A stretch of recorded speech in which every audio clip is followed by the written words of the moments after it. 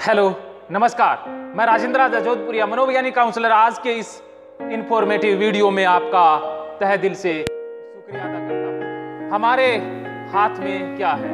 हमारे हाथ में हमारा जीवन है। ये खूबसूरत जीवन जो हमें कुदरत ने तोहफा दिया है। एक इंसान ने मुझे एक बहुत अच्छी बात बताई, वो मैं आपसे साझा करना चाहूँगा। कहा कि हमारे हाथ में ना तो बर्थ है, ना हमारे हाथ में डेथ है।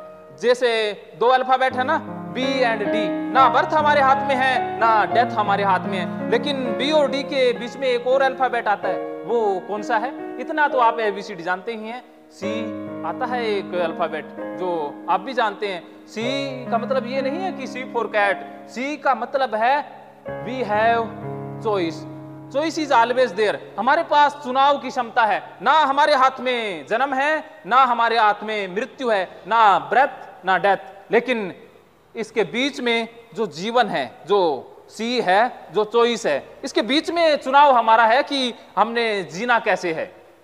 हमने जीने का चुनाव कैसे करना है? ये चुनाव की क्षमता हर किसी के पास नहीं होती। जानवर चुनाव नहीं कर सकते कि उन्हें किस एरिया में रहना है, कहाँ पर रहना है, कौन सा आहार खाना है, ये चुनाव उनके पास नहीं है, लेकिन इंसान के पास चुनाव है कि उसने अपना जीवन किस प्रकार जीना है। लेकिन इंसान क्या इस चुनाव की शक्ति का पूरा प्रयोग कर पाता है?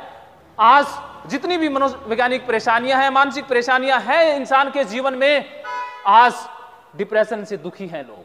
आज चिंता के मरीज़ हैं लोग। ना बच्चा चिंता से बचता है ना, बूढ़ा चिंता से बचता, सभी चिंतित है। मैं देखता हूँ कि सभी के चेहरों की जैसे हवा सी निकल गई है, बारह बजे हुए हैं चेहरों के। चेहरों पर कोई आभा नज़र नहीं आती, वो खुशी वाला माहौल, सभी के कंधे झुके हुए हैं, किसी के ऊपर कैरियर का बोझ है।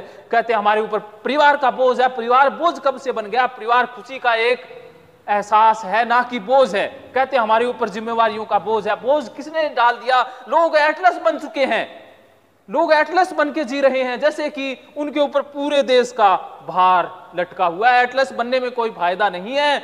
ये वही लोग हैं जो परेशान हैं मानसिक बीमारियों से, जिन्होंने बी और डी के बीच में सी को नहीं समझा, चॉइस को नहीं समझा कि हमारे पास चुनाव की क्षमता है। हम इन मानसिक परेशानियों के साथ जी रहे हैं तो हम कहीं ना कहीं चॉइस को भूल चुके हैं कि हमारे पास एक पावर है कि हम चुनाव कर लें।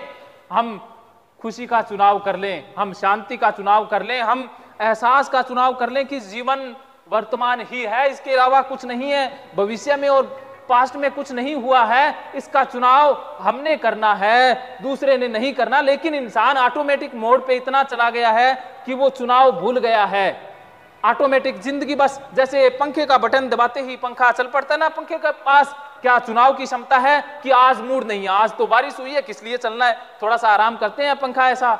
नहीं सोच सकता है। ये कोई और नहीं सोच सकता है, सिर्फ़ इंसान ही सोच सकता है कि मैंने करना क्या है? मैंने ज़िंदगी को जीना किस प्रकार है? लेकिन अगर ऑटोमेटिक मोड पर जीवन है मैकेनिक बन चुका है जीवन, एक यांत्रिक रूप से बस हो ही रहा है।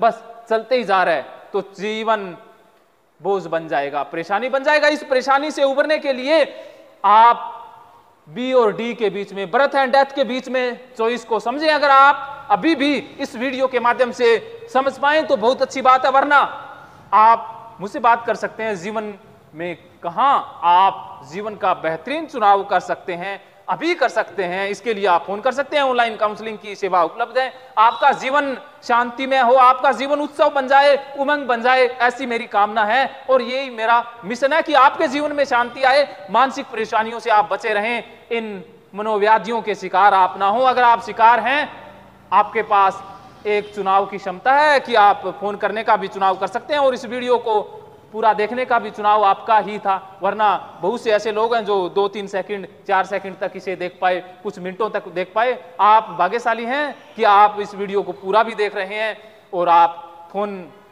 उठा करके फ़ोन मिलाने वाले भी हैं। ये चुनाव भी आप ही का है। इस वीडियो के लिए आपका बहुत बहुत धन्यवाद। It's